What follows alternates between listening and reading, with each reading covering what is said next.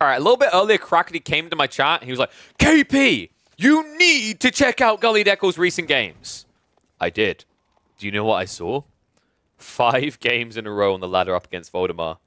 I hope he's having a better day today than he did the other day when he kept queuing into Puppypaw and Wham. Because while Gully Deckel may be an easier mark than the Canadians, he is a very talented 16-year-old kid on the rise who I think is yet to be beaten on the HRE, actually. Like, he is completely unbeaten on this Civ since the patch.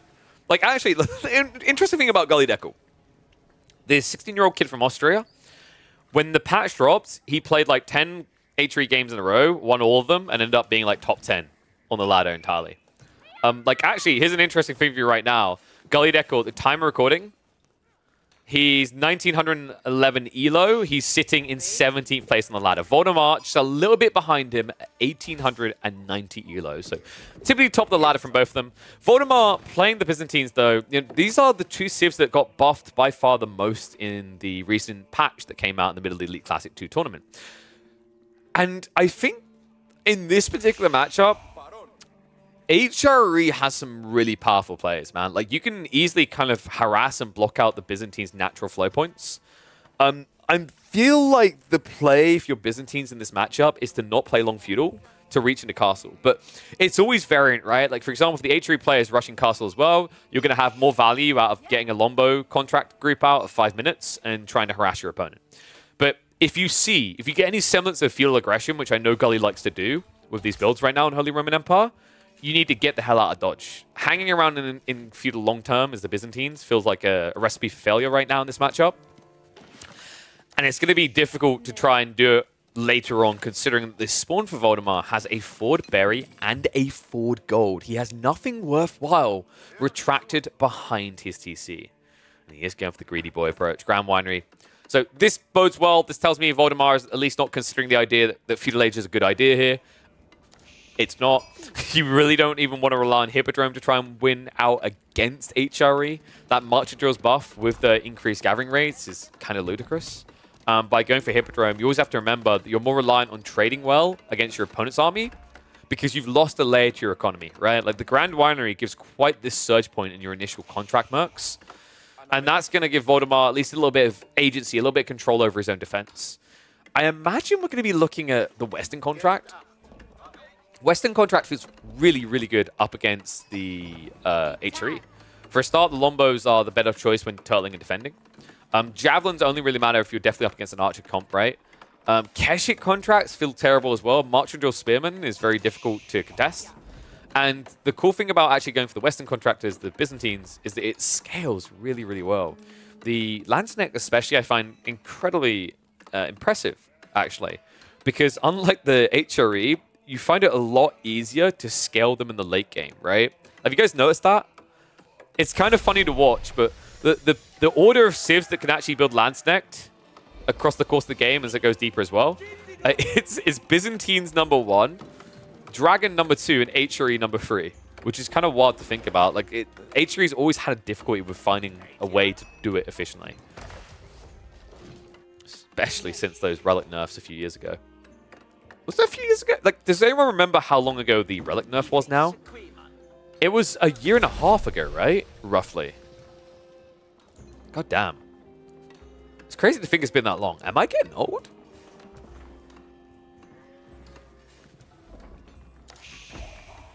Ginty.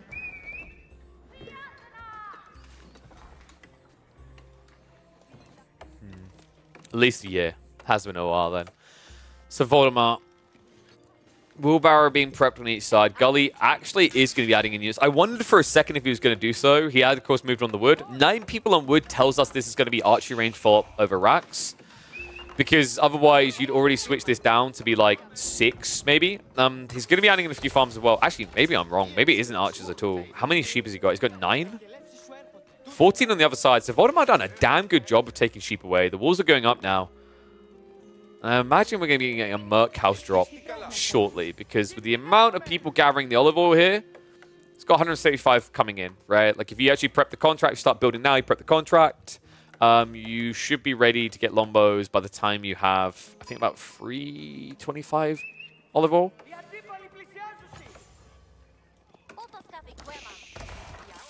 Gully. Okay, scrap my idea. No archers at all. He's legit just spamming men at arms.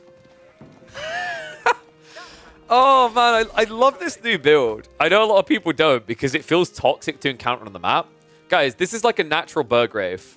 That's the whole logic. It's um, it's very similar to what we used to see up against Delhi, if you remember correctly, the HRE. HRE used to beat Delhi for quite a while because they would mass like 30 or 40 men at arms, tech up, still go Regnitz, but then they just have an army. They'd already have their Burgrave in effect, right? Very powerful. So we should be seeing similar here coming out from Gully. First one's on the way.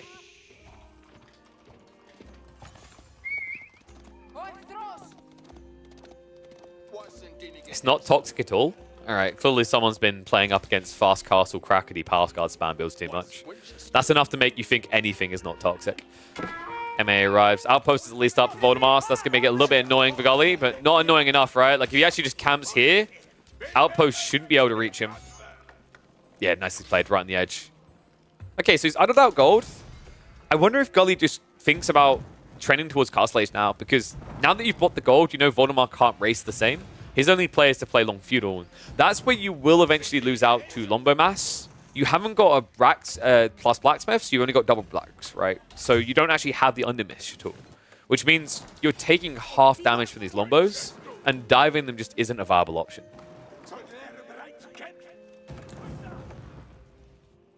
So far, Gully says, no, I'm going to keep trucking. A little bit surprised by this. I think you've done decent damage with just this opening play, and you know it's going to force a reaction out your opponent. Just feels better to actually get ahead, right? Like with map control now, you know it has to be the Western contract. You've kind of guaranteed a lock-in. I'm hoping once Gully sees the Lombos come out, he's like, good enough. Prage, back away. Because then you can just play for relics. Like this spawn is pretty beneficial for you, right? You camp the right side, you freely gather the south, you get a full relic game. Gully just like, la la la, I can't hear you, need more men at arms. And there we go, longbow shops. Gully, like, you just need to back away now. Undermesh is being prepped, so he's going all in then. Yeah, if you see someone getting undermesh like this at this stage, when they just saw lombos, it's a full prep play. Am I blind? Where the hell... Guys, oh, that explains. I was like, where the hell is the blacksmith? So I was looking for a proxy blacksmiths across the map for some reason. This was because he was building the Palisables. It's kind of crafty, actually. It has an added layer where, like, Voldemar at this stage, because of what I just said, like, oh, you've built Lombos, logically, Gully shouldn't be contesting you, right? He should be backing up and tacking up. So Voldemar might be thinking the same. By building the blacksmiths back here behind the tree line, it makes it even harder for Voldemort to get info on your play. So, not sure if that was entirely intentional for that layer, but it is a layer to this cake. Houses around Arkin, who cares? You'd like you can end this game in feudal age, right? it is pretty weird to see. Especially considering he could have built them north side, but he was trying to be optimal, right? Like, I don't think he had wheelbarrow at that point, so he wanted to build the Raxes there. And Arms ready to dive in. Olive Grove's coming through from Voldemar. He's desperate for a tech up. Look at this. Look at the food right now. Voldemar, greedy boy, and Gully, because he doubled down like this. What a smart read. I was a little bit concerned it wasn't going to work, but Voldemar did not see through the visage. He genuinely thought this was just going to be a castle race, and the funny part is, folks, it is. Gully Deckel is gathering up what he needs to tech up, but in the meantime, he's idling Voldemar out. He's finding chip damage and kills on Eco, and he's idling the gold. That's the most important detail. Voldemort, by the time he mops this up, he's going to have a handful of longbows left over. He's not going to be ready to tech himself. It's going to take him an extra minute and a half at least to get there. And that's if he pulls 10 villagers across from that gold. Wow, dude. Can we can we give golf claps all around, Gully? What a Chad Lord this kid is. He was doing mental cartwheels when he read the HRE patches and the buffs. I know he was. And who can blame him when they look this bloody strong? Reminder that this Civ right here, Byzantines, were the other ones that received substantial buffs. Before those buffs, they were already becoming a, a top four Civ. And now, HRE, you know, a Civ that I think a lot of players expected to move like midway up the rungs. the more I'm seeing them, the more I'm like, did they move midway up the rungs? Did they go from being like a, a 10th Civ to being a, a 7th Civ? Or are they now top four themselves? Because this Civ is really impressing me in most matchups at this stage.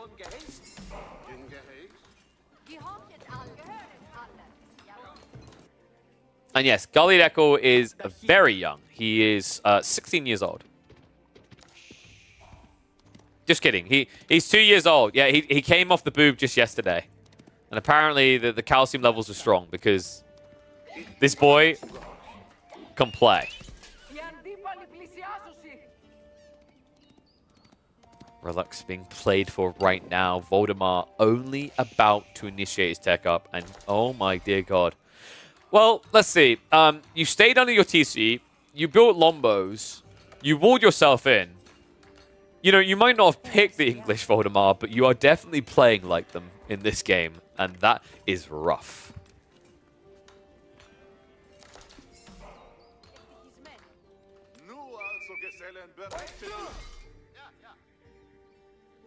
I like how Faye's still hoping him about the Order of the Dragon. I'm actually so I think Order of the Dragon is still favored in the H3 matchup, but it's nowhere near as much now. The Marching Drills difference really did help a lot. Remember I said that, that this Civ can't build land stacks? they are the literal worst Civ at building the salami slices. And yet here we are, Gully Deckel with a Knight Lance combo. Did he misclick HRE when he meant to pick Order the Dragon? Because it kind of looks like it, doesn't it? Right, this is the comp that I actually think Order the Dragon have been finding the most success with in Castle Age. And yes, HRE Men at Arms are better than Gilded Men at Arms because of maces, but you don't get those until Castle Age. That's why Order of the Dragon is favored, is because they drag the game in feudal. They don't let you tech up. That's the whole point. It's like Order of the Dragon's feudal units feel like Castle Age units. Oof, Lombos. Wait, wait, why are you running? Just, wait, wait, what? Okay, he's like this knight should have cleaned this up with more HP left over, but a little bit scramble brain there from Gully. I don't know what the hell that was. So he's going to actually reveal the lance next. So good news for Voldemar is he knows he's about to have his face sliced off. Bad news for Voldemar is he was planning to go into Varangian anyway, and Knights plus Landsknecht deals with Varangian easy peasy. And Voldemar needs crossbows really badly. And he needs it more than ever now that Gully is doing the typical thing and adding in men at arms like any HRE, self-respecting HRE player would. Dibbing Gavin on flanks as well. Love this from Gully. It just slows down the farm transition, right? Like, yeah, farm transitions can feel great and it lasts forever. uh, Firm handshakes all around. Great for your diamond games. Uh, but at the highest level of play, timings are everything. And he understands right now with Voldemar choosing to set up Olive Groves, with him taking up late, doesn't really need to rush his own farm transition. Like, doing that sacrifices a very strong point in the game. Like, he's about to go five relics up, and he has complete map control. Why would you throw that away for a little bit of easier food gathering? There's no threat in your flanks. Just take advantage of it. So, love to see that. And I hate to see this Voldemar.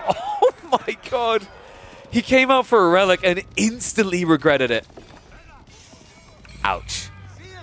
Uh, guys, Voldemar is about to run out of gold. This game could abruptly end. Gully is actually strong enough to constrict all gold on the map.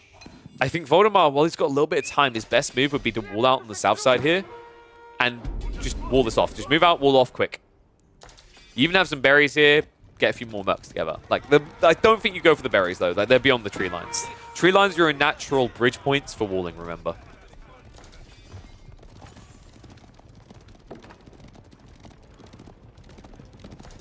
And yes, Gully, we are watching your game.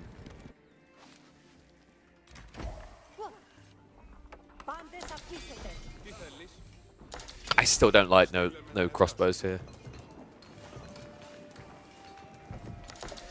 Not the cleanest. Um, yeah, I think there's like, you've got this army this big, right? I think you genuinely could have went and attacked. Um, we have God Vision. It's easy for me to say right now, but you saw how desperate Voldemar looked. I actually, I really liked your feudal timing. You blocked his castle timing completely. I think what happened at this stage is you got HRE brain. you know what I mean, right? Like, so HRE brain is where you're you're doing everything logical and you're you're playing HRE really well, and then all of a sudden, your brain is like Imperial. We should go Imperial. It's like you you get you can go Imperial, but you don't have to be here. You could easily be in his base right now doing damage, right? I think this is natural though. Whenever you're thinking about teching up, you instinctually want to do this. Gully doesn't know he's this far ahead. He should be able to sense it though with the fights he's taken. And thank you, Scion. Welcome to this one, buddy. Remember, guys, use your Amazon Prime subscriptions across on my channel. Mwah. But like the interesting thing is like the reason Gully doesn't want to try to take this fight, even if he feels ahead, is because another part of being HRE brain is that whenever you look at your building options, you don't see an archery range. right? Like you always build melee. So the thing he's paranoid about is running up to these walls where there's going to be lombos, maybe there'll even be a mangonel, and he'll just get held by repairs on the, the, the wall, right? And he'll lose his entire army. And it is an expensive army to risk. So Gully, it's a safe choice, but it's one that works here, right? He's now a mile ahead. He's 5 eco up, and he just went up to 4 TC and Imperial. Not to mention the fact this is a 5 relic game and 3 sacred sites. You know, I just realized we, we didn't do our appropriate uh, intro of the kid versus the toddler here. Oof. Does the kid need to go back to school? Emerson's the toddler. Yeah, but what, what are we going to call you? Like, the, so here's the thing: if Voldemar's the kid, but he's older than you, you can't be the teen. So, I think MSN's the baby. Right? Like, what have you got after toddler? Because, like, it, it's baby, toddler, teen. Uh, baby, toddler, kid, teen. There's probably something I'm forgetting. Taiban's coming in as well. Good God, as if he didn't have enough eco already.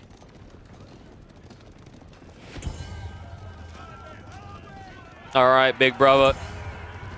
Time to show him how you defend. Gully Deco. Front lining with these Elite Knights, and there's not enough Limitanei. This wall's going to go down. Gold access is going to be gone. Voldemar is in trouble, and he hasn't got a wall up here. He built this cistern. Dundamar has arrived, as in he is done with this game.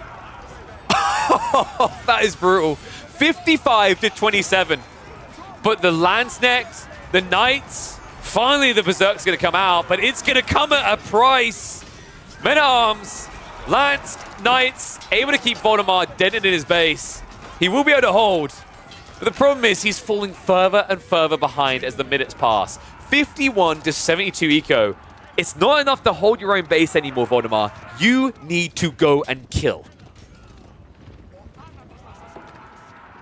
Really good hold there, though. Um, this is the interesting thing about Varangian, is if you don't have the maces, you 100% lose. Like, I, am kind of surprised he didn't get maces. I guess he thought the Knights were going to be good enough, um, but he, this is an interesting matchup, by the way. Like, when you get into Imperial Age and you get all the upgrades on each side, but Varangian are better than Men at Arms one-on-one. Because they have a better attack speed, right? 1.38 compared to the 1.38, but then when you get the um, the Berserking, no, Berserking's the move speed. When you get Teardrop shields, you get down to like 1.12, and then if you Berserk, like you just mincemeat, right? Um, it's very, very powerful. Oh wait, why are you building your base? Wait, you're building Siege? Why? Oh, archer ranges. Um, are you? Golly, it, it seems that your recollection of your own games is, um, cringe. Berserk coming again. That Mango's doing decent damage. Have I misread this? Wait, dude, dude, have I called this too early? Gully, where the hell are your troops right now? Build some units, for God's sake! Oh my god, I can't believe he didn't get heavy maces earlier than this. I mean, th this is still a hard base to, like, to dive, right? Cannon's coming in 10 seconds. Voldemar can do some damage, but I don't think he can end the game off this. This is about to get dicey, especially when he clumps up like this, which is what's happening when the Varangian run over, right? Heavy Mace is coming through soon. Siege Engineering being prepped. Vo- Voldemort. Uh, Siege Engineering is usually better to, to build not underneath the TC. I actually think the cannon's going to save him. Dude, this is so stupid about HRE. Any other Civ makes this choice, game is over. Right? Like, game is done. But HRE, with these obnoxious cannon emplacements and the triple TC effect of of Swabia, means they get away with blind murder. Unbelievable. I, I feel so bad for Voldy. I mean, I was like, yeah, this game looks over. Voldemar's like, hold my beer. He's like, oh, wait, I'm trying to dive HRE and Imperial. This, I know what's coming. Poor guy, he tried to prep for it as well, right? He got Siege Engineering, but it just felt like it was too late. More Landsknecht coming out. Men at Arms as well. This should be enough to stabilize. I, I think this is now where Voldemar, it looked like he was starting to macro towards Imperial Age. Playing into Imperial here is going to slow down his grinder, though. And the problem is by the time you get there, it's going to be a 90, 95 eco situation, right? So a 30-plus villager lead with all the relics. Like, it's just not... What the f... This is so unnecessary! No, no. I, I, also, by the way, I didn't. No, no, no, no, no. This is not my fault. I told Gully to attack the gold. He finally listened, not to attack the base. No, in fairness, I think Gully, like that attack into the base of Voldemar, if he'd just done that before he teched up instead, it probably would have been GG then. He waited a very long time though. And credit to Voldemar, like he played it right. He got his comp together, and now he's trying to go into Imperial. But guys, like he can't access the gold. Oh, this is over. This is actually over now, right? Like he, he's got 4k gold up here. Maybe that's his recovery arc. But this is a lot of gold for H3 to have and you not. Some would call this greedy, considering he's got five relics in Palace of Swabia. he's even building his houses out here.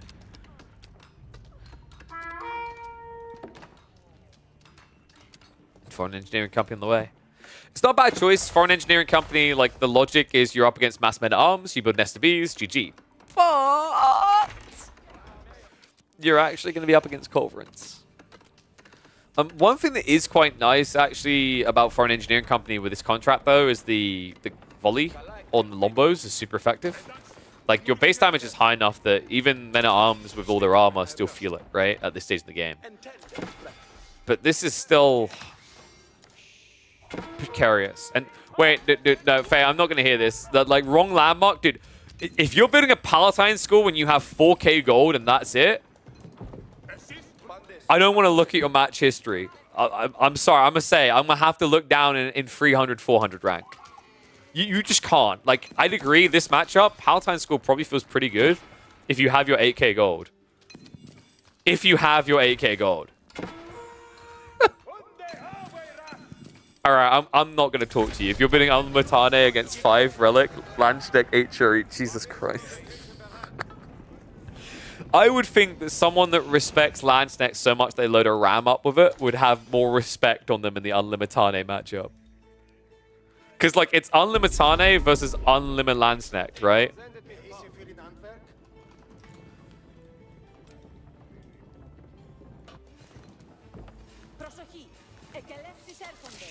And wow, Gully's actually going into hand cannoneers. Hmm. I, I mean, there are there are ways you can potentially lose a game of AOE four, and, and this is this is trending towards that direction. Uh, I would I would rarely ever recommend hand cannoneers when you're up against uh, longbow Byzantines in Imp. I guess he's just like, I've got all this gold, how do I spend it? And I don't want to be just melee comp. Maybe it would have been better to just like build Siege and mass melee with Landsknecht. Because like, I think he's just, he's got too much gold to lose the game, right? Like realistically, he has way too much gold to lose this game. But, if there was a way you could lose a game of AoE 4. Not saying he's going to, but if there was, it would be building um, hand cannoneers up against mass volley longbows. These guys hit hard. I remember they get volley by default. Right? The moment the foreign engineering company is built, they have it. That's coming in. Now the Mangoes just need to move here, and this is over. And Arms are going to go line formation to protect. And Lombos have to start dodging like they're near. Frank going to get right around the back. Voldemort could go for the Berserk here to clear up the siege. I think you should as well, because right now these Bombards are like 50 caliber sniper rifles. And I think it just doesn't matter. Elite Army Tactics is in for one side, and it most definitely is not for the other. So that will definitely be GG. Tough matchup, right? I've been seeing a lot of HRE players stomp on Byzantines at the moment. I think this is the time when we always notice. It's that tech up into Imperial ahead that gives them the advantage getting in to Elite Army Tactics. And that is the difference maker. If a Byzantine player can find a way to survive that, they can find a way to win. But the only person winning non-stop, 100% win rate now with the HRE, Scully Deckel.